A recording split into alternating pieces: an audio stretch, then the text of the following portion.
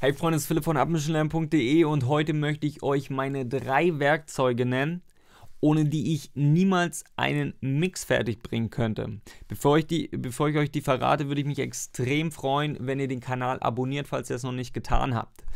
Jetzt zu meinen drei Mixing-Werkzeugen, ohne die ich niemals ja, einen Mix fertig bringen könnte. Ähm, und Punkt Nummer eins für mich eigentlich somit das ja, wie gesagt, eins der drei wichtigsten, äh, eins der wichtigsten Werkzeuge ist der Kompressor. Ja, denn mit dem Kompressor kann ich wirklich den Song, äh, den Sound eines Instrumentes, einer Stimme formen. Ich kann ihn nach vorne bringen, ich kann ihn zurücksetzen, ich kann das einfach unter Kontrolle halten vor allem. Also das ist der extrem wichtigste Punkt eigentlich beim Kompressor. Du kriegst Kontrolle über den Mix, sei es auf einer Einzelspur, sei es in einer Subgruppe. Mit einem Kompressor kriegst du schnell Kontrolle über den Mix. Deswegen ist das mein Nummer 1 meiner Werkzeuge ähm, für das Mixing. Punkt Nummer 2 ist der Equalizer. Und zwar aus dem Grund, ähm, hast du ein schlechtes Aufnahmeumfeld, dann kannst du mit dem Equalizer immer noch so viel rausholen und es immer noch professionell klingen lassen. Natürlich ist es manchmal mit sehr viel Arbeit verbunden, aber du kannst ihn natürlich auch dezent einsetzen, kannst einfach die letzten Prozent mit dem Equalizer aus so einem Song kitzeln.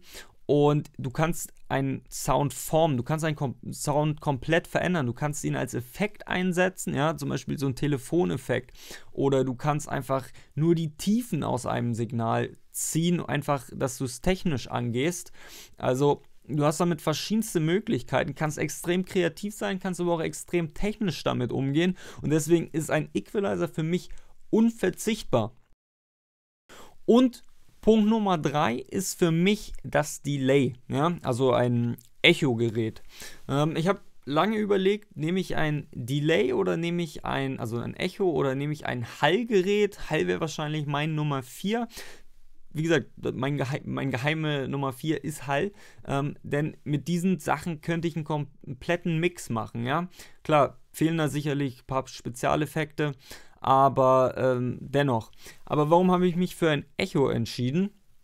Ich kann mit einem Echo einfach noch mehr Bewegung erzielen, als ich das mit einem Hallgerät machen kann. Und wovon lebt ein Mix? Eigentlich von der Bewegung, von der Dynamik. Und klar, ich kann mit einem Hallgerät kann ich ein Instrument in ein bestimmtes Umfeld bringen, eine bestimmte Stimmung erzeugen. Wie gesagt, deswegen ist es auch Nummer 4, aber mit einem Echo kann ich halt deutlich mehr ja, Bewegung erzielen, wie gesagt, mehr Dynamik, es bringt einfach mehr Leben in einen Mix als vielleicht ein Hallgerät. Ein Hall ist auch, wie gesagt, extrem wichtig und wäre meine geheime Nummer 4 sozusagen, um vielleicht nochmal mehr Emotionen rauszukitzeln. Aber ich denke, mit einem äh, Delay kann man halt noch mehr spielen, ein bisschen kreativer sein auch.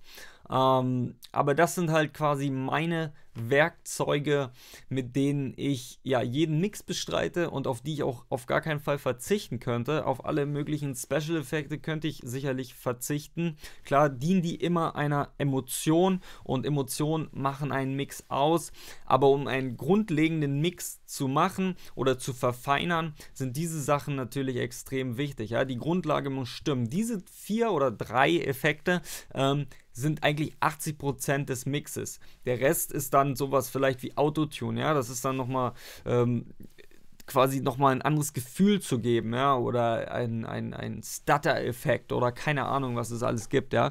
Ähm, wie gesagt, aber das sind so meine äh, Werkzeuge, die ich in jedem Mix benutze und da möchte ich euch auch wirklich raten, beherrscht diese Werkzeuge und wenn ihr diese vier oder drei Werkzeuge richtig beherrscht, dann ja, dann kann eigentlich jeder Mix kommen oder jeder, jeder Song kommen und ihr werdet ihn vernünftig mischen. Da bin ich mir ziemlich sicher. Deswegen fokussiert euch genau auf diese Werkzeuge, denn wenn ihr die beherrscht, wirklich in Perfektion, dann werdet ihr auch perfekte Mixes abliefern. Der Rest ist Feintuning, aber die solltet ihr wirklich beherrschen. Deswegen, also ich hoffe, das war irgendwie hilfreich für euch. Ich würde mich freuen, wenn das so ist.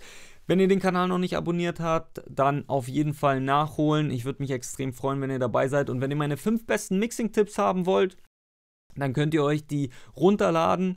Ähm, dazu verlinke ich einmal die Seite oben im Video und unten in der Beschreibung. Dort gelangt ihr quasi auf die Seite und da müsst ihr einmal eure E-Mail-Adresse eintragen. Sobald ihr das getan habt, schicke ich euch mein E-Book sofort zu und darüber hinaus bekommt ihr sogar jede Woche einen weiteren Mixing-Tipp obendrauf. Das alles ähm, ist kostenfrei. Es entstehen also keine Kosten für euch. Und falls ihr irgendwann keine Lust mehr drauf haben solltet ähm, oder euch die Tipps nicht weiterbringen, wie auch immer, könnt ihr euch auch jederzeit problemlos wieder abmelden. Also ich würde mich freuen, wenn ihr dabei seid. Das ist Philipp von abmischenlernen.de. Ciao.